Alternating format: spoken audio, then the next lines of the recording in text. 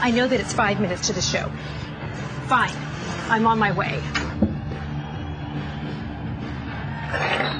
That ends the first half. Stay tuned for what is sure to be an unforgettable halftime show.